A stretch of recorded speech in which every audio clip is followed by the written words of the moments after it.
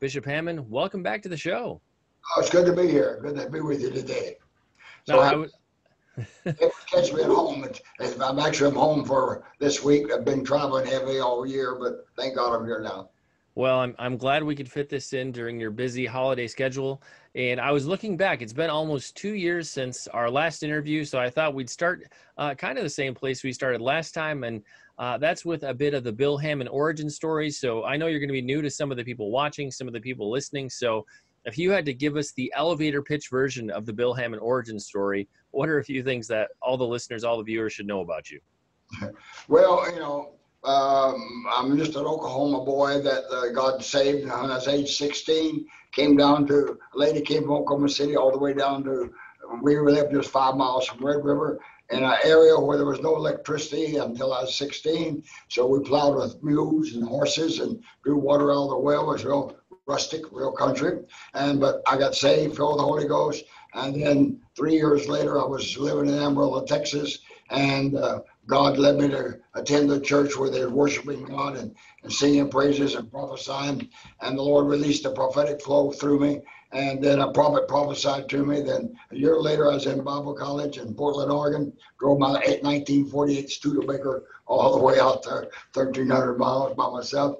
And uh, from the Bible college, they gave me prophetic presbytery there and prophesied everything that a prophet does, but they just didn't have the faith in those days to call you a fivefold minister.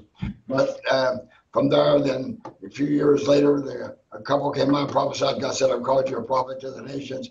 And so I ended up pastoring six years at a church in Toppenish, Washington, Yakima Valley. And then I traveled evangelistic work for three years and then taught in a Bible college in San Antonio, Texas for uh, five years. And then started building Christian International undergraduate and graduate Bible college extension program. and we I got undergraduate and graduate. I ended up enrolling about 9,000 students all over the world and had a lot of graduates. And uh, but then we moved from uh, from San Antonio to Phoenix, Arizona for seven years, between 77 and 82. And there I started the School of the Holy Spirit, training people to hear the voice of God and prophesying to people. And and we then in 1984 we moved to where we are right now in Santa Rosa Beach, Florida, which is the Panhandle of Florida, halfway between Panama City and Fort Walton, the Destin area and Seaside. And uh, we started training people uh, in the man manual for ministry spiritual gifts, and we've trained over half a million people over the last 30 years. I personally prophesied to over 50,000 individuals, from presidents of nations to babes in arms. And um, you know, I had a lady come up to me the other day and says, "I'm 47 years old, and I'm in this world because of you." And I said, "Oh, how's that?" she said, "Well, 48 years ago, you came to our church." Up in Pennsylvania, and you prophesied to my mom that she was going to have a baby girl, but she had cancer of the uterus, endometriosis, and two of the other things. The doctor said it was impossible for her to have a baby. But nine months later, she had that baby, and there was this. She says, "I'm 47, and that was 48 years ago, and I'm in this world today because you spoke healing, deliverance to my mom, and she was able to help me." so it's exciting. But I'm glad it was prophetic, you know. um, uh, but uh, then we, we've been we've been traveling the world and writing books, and most of my books are on the um, on the uh, restoration movement. When I when I was 19, in 1978, God spoke to me to write a book, and finally somebody called and said, God told me to help you do some research and write the book on on the church. And I said, okay, it'll be the church. So I wrote the book on the eternal church. That's the one that's uh, it covers all the restoration movements. Imagine you read this. It's a almost 400 page book, but it covers the origination of the church, the deterioration of the church, the restoration of the church, and the destiny of the church. And when that came out, I taught and preached on that. But it, it covers every restoration movements from the, the second Reformation. I talked to people about we're in the third Reformation. I said the first Reformation was the birth of the church, establish it, spread it to the ends of the earth. Then when church went through a thousand year dark age from 500 AD to 1500 AD, and then God started the restoration of the church, and we call that the second Reformation. And we had nine rest, um, we had nine restoration movements during those 500 years. We had the evangelical and and, and I mean, had the historic Protestant in 1500, Evangelical 1600, Holiness 1700, Divine Healing 1800, Pentecostal 1900, Restoration 1948, and then we had the uh, Charismatic Renewal. Then we had the uh, Faith Movement, and then I had the privilege of pioneering and prophesying and bringing in the prophetic movement. In 1988, it was birthed. Then 1998, we had the apostolic birth at one of our conferences.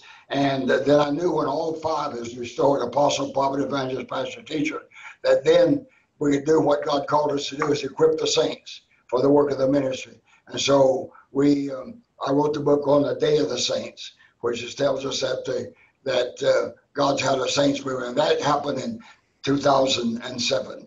Um, like Cindy Jacobs was here, Chuck Pierce and Dutch Sheets, and and uh, Lou Engle was all there to meet, and they all witnessed that the Saints movement had been birthed. And, but I wasn't fully satisfied. I still something yet. You know, you ever had that feeling like God, there's something more, something more. Well, I should have recognized it because I was pregnant with this prophetic movement for about 10 years before birth, and uh, and I was pregnant with what God was going to do, and He surprised me. He said in 2008 uh, spring, he spoke to me from heaven and said, The third and final church reformation is now decreed for planet Earth on the church. And so that was the beginning of the third reformation. And in the first move of God in the third reformation is the army of the Lord.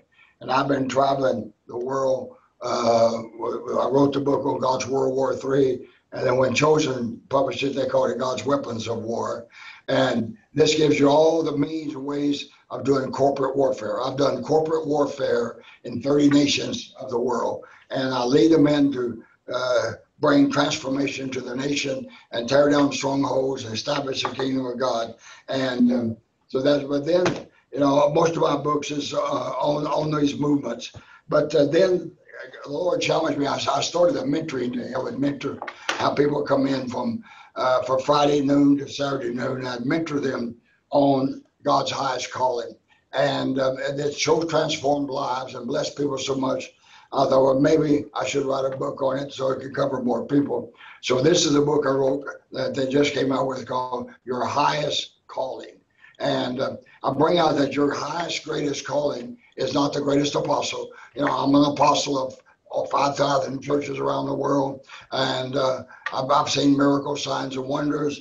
And uh, we've trained over 500 people in the prophetic. And I've been a prophet, prophesying ministry. I, I, I did the work of an evangelist. But if I could be the greatest of all, I still wouldn't be my highest calling. You could be an evangelist winning thousands every week in great stadiums. You could be a pastor of 100,000, or you could be a teacher that's teaching in the most prestigious universities and be maybe the millionaire, billionaire giving the most to the church and blessing, but that's not our highest calling. That is that's a works God wants us to do on earth, but our highest calling is being conformed to the likeness and character of Jesus Christ. Because in the beginning, God made man, and what He told him, He says, "Man, I made you in my image and likeness. I want you, and I'm going to give you power to reproduce creatures just like yourself." and that'll be, and they'll come out your image. So I want you to fill the earth with a race of godlike creation that's in the image and likeness of God and thinks like God, acts like God, talks like God, has God's convictions, God's vision, whole works. But Adam failed, uh, failed, and, and he sinned. He got kicked out of the garden, lost the image of God, and so. 4,000 years later, God sent his son, Jesus Christ, and he came to start a new race. And then we became the church race, which is new creation in Christ Jesus. And when he says we're a new creation in Christ Jesus, that means we're as much a new creation as Adam was a new creation in the garden. We're a new creation in Christ Jesus. And we're a whole brand new race among the human race. And I tell people, uh, as a born again Christian, you're different than the rest of humanity. And they say, well, how's that? I said, you've got eternal life in a mortal body. And but the others have eternal death in a mortal body. And if they're never born again, they, they suffer the second death, which is a lake of fire. And I said, we're God's special people, but God saved us not just to have a good big family to love on and just be sweet people to be with Him. He saved the church for a purpose, to accomplish a purpose for Him. Many things we got to accomplish on planet Earth. But evangelicals and Pentecostal theologians and and, and their eschatology see no purpose for the church except to win more to the church. But God raised up the church as the body of Christ. When God sent his son Jesus, Jesus was the body of God on earth. And the Bible said the fullness of the Godhead dwelled in the body of Jesus. So everything God did on earth, he did it through and with his son to his body on earth. Now that body was crucified, resurrected, ascended back to heaven, sat down at the right hand of the Father. And Jesus said, Father, I finished the work you gave me to do. And Father said, Yes, you have now sit at my right hand to make all enemies your footstool. You burst the church. The church is your body now. And another name for the church is the body of Christ. And we are the body of the of God upon earth the of Christ. And there, Jesus had about 15 or 20 things he had to fulfill while he was on earth in that mortal body. And the church has several things we must fulfill before Jesus can come again. Can I can I can I back us up for just a moment, Bill? Um, th- thanks for giving us a, a, great flyover of, of your life and your ministry. Um, you've, you've got that whole stack of books there on the table, and in the opening part of this book, you talk about that your highest calling. You describe it as the most important book you've ever written. Um, I've heard a number of people say that they feel like for you this is a legacy book. Um, how does this stand out, or what what's unique or different about this book compared to uh, all of your earlier books? Well, most of my books have to deal with the move of God. Uh, the, the first book, The Eternal Church, covers the whole restoration movement of the church, 2,000 years of the church. And then the, the trilogy on the prophetic covers the prophetic movement. And then prophets, apostle prophets, and coming moves of God, that covers the, these these these three here. These they cover the the, the prophetic you know. And then I knew when that was done, we the apostles would be here, so I did one on the apostles, and that was done. I knew the saints would come and get one on the saints. Then I finally got caught up, and I could do one. I started in 1964 on eight reasons God created the human race called "Who Am I? Why Am I Here?" And then the Lord spoke to me about the third Reformation beginning, so I wrote the book, and they and they, and they called it prophetic scripture to be fulfilled. And then I wrote the book to help fulfill it called 70 Reasons for Speaking in Tongues. And there really are seven who is their number. And they're real. And then I wrote the book on how can these things be, subtitle, a preacher and a miracle worker but denied heaven. Dealt really with what's really sin, what can we do, and dealt with all the false doctrines that's floating around in the church world today. But then I started doing this mentoring day, and I, I, I, people thought it was so serious or all of these deal with either a restoration movement or a general subject. This deals with the person because the truths in this makes a difference of your eternity. And I talk about the individual, like uh, kind of the publisher said that they like this book because it sounds like I'm not preaching or teaching, I'm just sharing with the people. And so this really, you, like it says, you can gain the whole world and lose your own soul.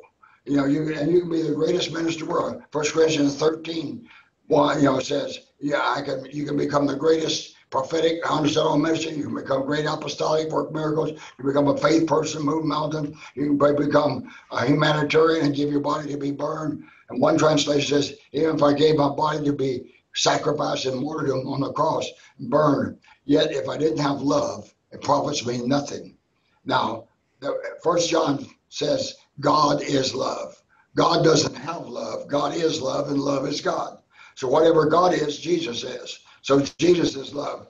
So what you can say there, if you don't have Christ likeness, love doesn't convey a lot to people. I mean, love, you know, they, they don't know. But but love is Christ likeness. That's reason says in 1 Corinthians 14 1, follow after love, Christ likeness, and desire to manifest spiritual gifts.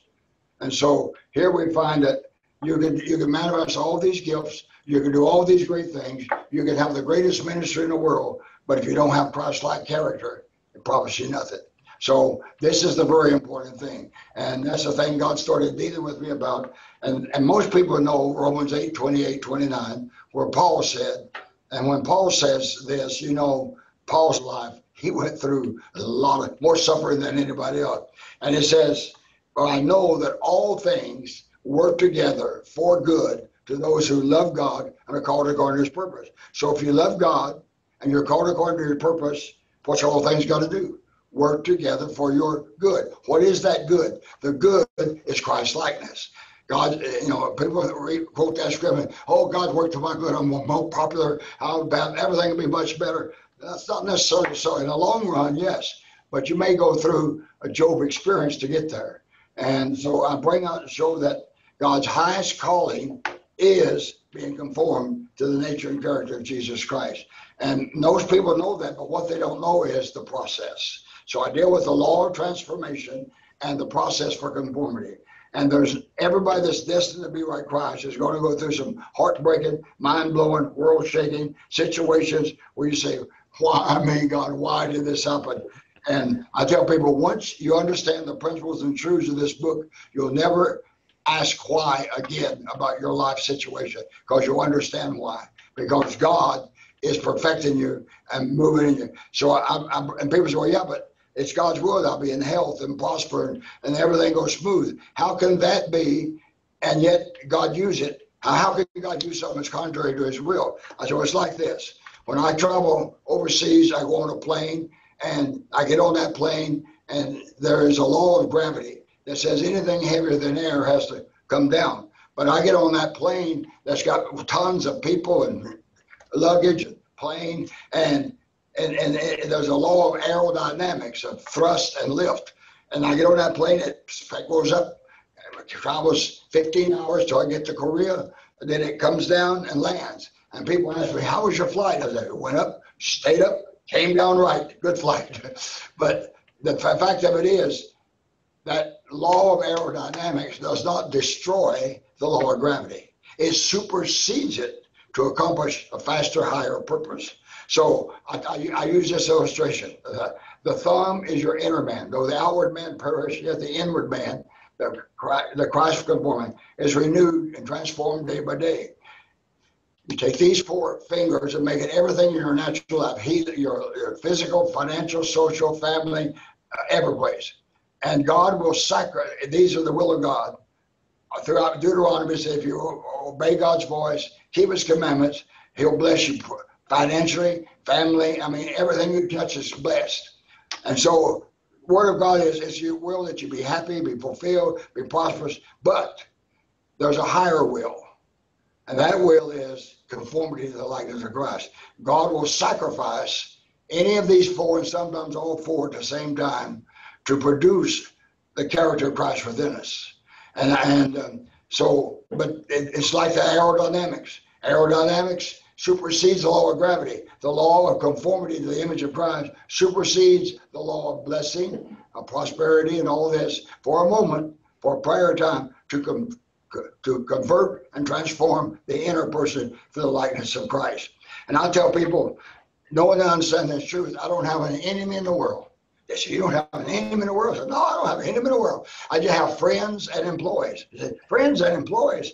What do you mean? I said, well, James 1 in the, in the Phillips Letters Young Churches, the old King James says, count it all joy when you fall into diverse temptation. The new, the Phillips Letters Young Church says, my brother, when all kinds of trials and temptations crowd into your life, don't resent them as intruders, welcome them as friends. You got more friends you thought you had. See, so uh, there's so those these trials, tests, and troubles are my friends. And then I say, then Second Corinthians 4, verse 16 says that these light afflictions work for us. The light of the, when Paul says light afflictions, that must make ours feathers because he was beaten, was tried, and all that. And so they work for us. So I read that one day, and the Lord says, What do light afflictions do? And I look and said, It says they work for us. I said, Oh, they're my employees. So when people come up to me and they say, you old bald-headed prophet, I don't believe you, yak, yak, yak, I just reach in my billfold, take out some money and give it to them. They said, what are you doing that for? I said, I pay my employees well. He said, I'm not your employee. I said, oh, yes, you are. I tell you, you just been helping produce long suffering and patience and mercy and forgiveness. You're just causing the fruit of the spirit to be, have to be grown in my life. And you, are just producing you're working hard. In fact i'll change this from a 20 to a 50 because man you're really producing. And if it wasn't that i knew that god was using you to develop the character of christ within me it'd be pow right in the antenna. But i said I know you're just my employee working for me. And sometimes I'll use a husband or wife sitting on a front row and I'll take twenty dollars and I'll say now to your wife, and now when he starts giving me yak, yak, yak, yak, give me a bad time, just, just give him that twenty. And he looks real strange and she reaches over and gives it to him. And then he wants to hand it back to me. Then I said, No, no, you keep it. You'll be giving it to her next week. so in other words, that's reason Paul says, rejoice evermore in all things, give thanks. And one other main point that I bring out that I've, I've read that scripture for 50, 60 years. My, I've been in the ministry 66 years, but years I've read it. Second Corinthians 12, 10 says this. Paul says, I take pleasure in. Now, I've asked people, give me, what do you take pleasure in? They'll say, oh, sports, shopping, the children, praising the Lord, going to church. I say, but none of us ever, I've never had anybody put what do you take pleasure in, what, what Paul said. And Paul says, I take pleasure in infirmities, in persecution, in all these troubles and, and stresses and and I've, all these horrible things I'm going to take pleasure in. I used to wonder, Paul, you either need a psychiatrist or you've got a revelation I don't have. I mean, how can you take pleasure in all these negative things? I mean, persecution, reproaches, necessities, needs, distressing things. And, and I finally realized when I wrote the, wrote the book, Paul, I understood Paul's greatest passion was to be like Jesus. Philippians, he said, Oh, that I might know him and the power of his resurrection, been made conformable to his death, that I might be like him. Then he said, We're transferred uh, by the Spirit of the Lord, we're transformed from glory to glory until we reach his image and likeness. And then verse 29 after 28 says, Whom he did pre- foreknow, he also did predestine to be conformed to the image of his Son, Jesus Christ. And so the, all things work to make us like Christ all things make us to his character. So we have to go through some suffering, have to go through some troubles, have to go through some processes. I um, I had a bought a building and I give give you a high in Arizona and paid a quarter million dollars for it and got somebody gave me fifty thousand dollars to put it down. My wife said God's going to give you the building and I put it up for forty thousand dollars a month. I mean, forty thousand dollars a year payment because a oh, man, bless God, God sent fifty thousand in. I can pay forty thousand a month a year. And but a whole year I talked about it, I only got five thousand in. And they gave me 60, 90 days extension. I worked, started doing everything I could, couldn't get it. I realized the scripture when God says God opens doors that no man can shut, and God shuts doors that no man can open. And he shut the door. He, it wouldn't work. And I then they gave me 30 more days and finally, I had to sign all that property, all the money we put into it, back over to those people, and I lost it all. It was just devastating to me. I tell you, it affected. You know, I did. I, I did all the devil's work for him. I, I disowned myself. I condemned myself. I disqualified myself. You know, I, I just put myself through hell, and uh, the devil helped me out. Uh, and for six months, God would not speak to me about it. Now, I'd go to the school of the Holy Spirit prophesy to people, minister to people, preach. God would move through me, but not speak to me. After six months, I went walking one night, and God spoke to me and said, Bill Hamon, you're really upset about that money uh, and, and the property? I said, Oh, yes, I lost it all. I lost it all. And God said, No, you didn't lose anything. I said, God, have you been on vacation for six months? I lost it all. It's gone. I mean, my friend gave me 50000 and then we, put, we, we built, it's gone. He said, you know, you didn't really lose anything. I said, well, you're going to have to explain that one to me. He says, that was the tuition I was willing to pay for your wisdom and maturity. He says, I can give you houses, lands, people overnight, but I cannot give you wisdom and maturity. And that was in 1979. And he said, I'm getting ready to release a revelation to you and anointing you that's going to cause you to reach the world. And you're going to have millions of people are going to be affected by what you say and do. And he says, I want to make sure you got the wisdom and maturity to handle it. And three years later, in 82, God gave me the revelation of the company of prophets. And we started teaching and training about the company of prophets. And then it was birthed in 88 and uh, right on that line. And now we've got people uh, in every continent, almost every nation, teaching, and training people in the prophetic. Now, nobody believed in apostles and prophets in the 50s, 60s, but now everybody accepts apostles and prophets. In other words, all things work together to help me fulfill my destiny, which and, and my ministry, and but the highest is is calling in Christ Jesus. And that started when I was 22 years old. I'm 85 now.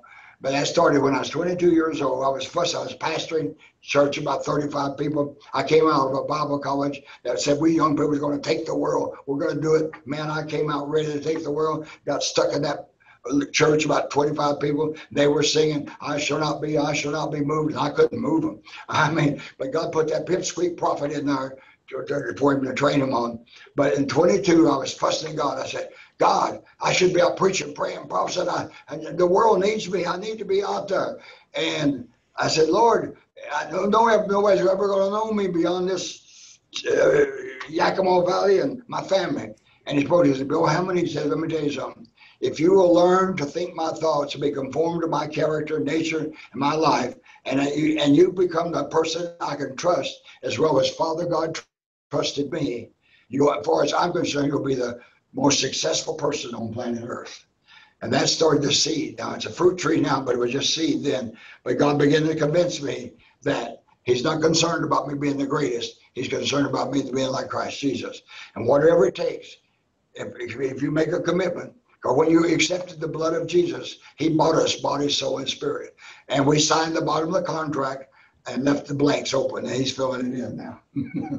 and all things do work together for good to we who love God and are called according to his purpose, for whom he did foreknow, he also did predestine to be conformed to the image of his son, that Jesus might be the firstborn among many families just like him. So I, I try to encourage people, all things work together for your good. And now how could Paul say rejoice evermore in all things give thanks?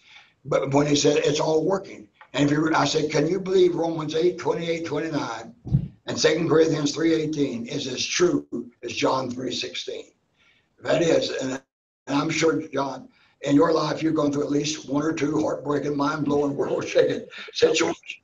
Oh, God, you know, shut, shut all the windows, honey, turn the gas on, goodbye, whole world, goodbye. Everybody I've ever talked to is going through some of them, but they work to kill us. And I tell people, God's out to kill you so he can live in you. You might as well go ahead and die and get it over with.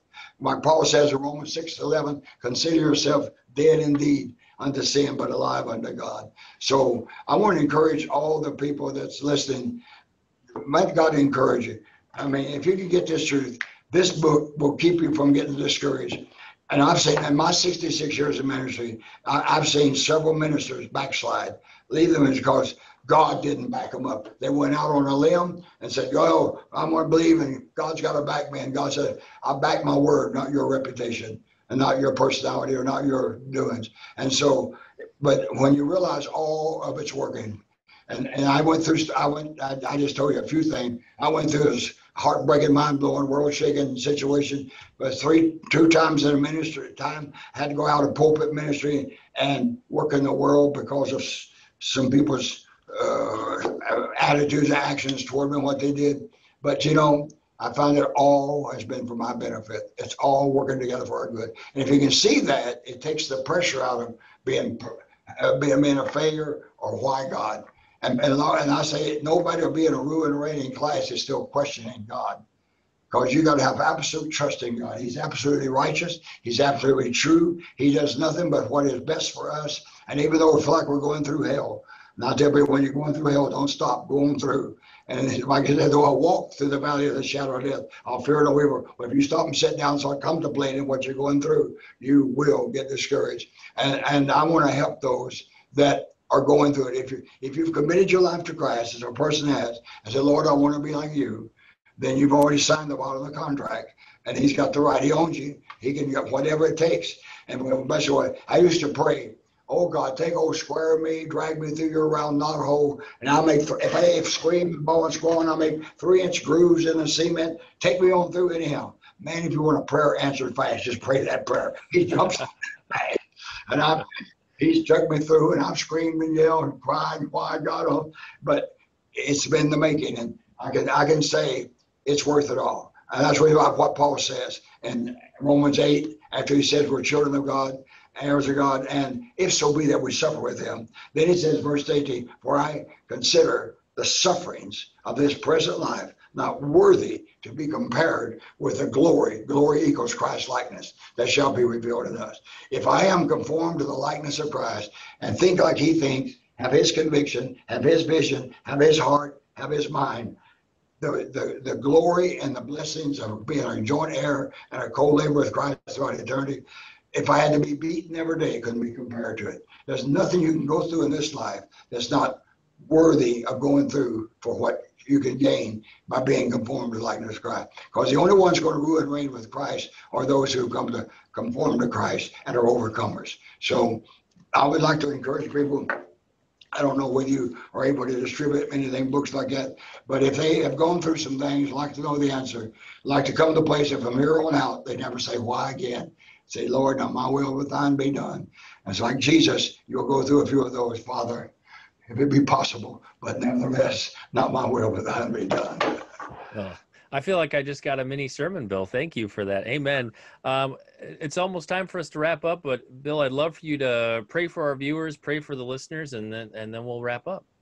Okay, Father God, right now, you got people out there, Lord, that you have been training them, you've been working with them, and they've they've gone through bankruptcy, they've gone through divorce, they've gone through all kind of heartbreaking, mind blowing, even maybe death of a loved one, a child, God. But regardless what they've gone through, if they love you and according to your purpose, it has to work to make them more like Christ Jesus. So, Lord, let the spirit of wisdom and revelation rest upon each one, that they will get this revelation and know that God loves them. Everything He does is for their good. And I had to come to that place, Lord. I went through many a test, many a trouble. Let me tell you, after 66 years, I've been in the ministry, 70 years being a Christian, I can tell you it's worth it all. I've gone through as much as anybody I've ever talked to, except some in the foreign countries that's put in jail and beaten every day. But I've gone through enough that I know that Paul was right, that all things do work together to make me like Christ Jesus. And I can take pleasure in the things that transpire in my life